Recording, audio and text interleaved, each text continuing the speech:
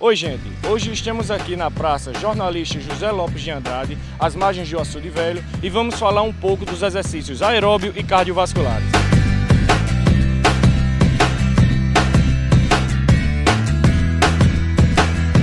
Nesse aparelho, estamos fazendo uma simulação de caminhada, onde o praticante faz movimentos contínuos, sempre lembrando que nesse aparelho especificamente será marcado um tempo de 15 minutos a 20 minutos, variando entre os outros aparelhos.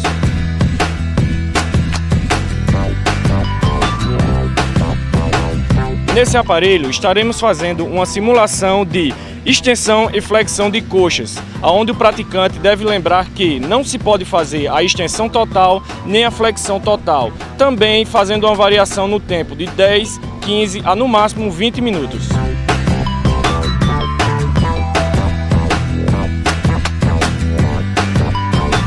Esse exercício que o professor Jefferson está realizando é caracterizado como um exercício aeróbio e também vai ocorrer um fortalecimento dos membros inferior e superior.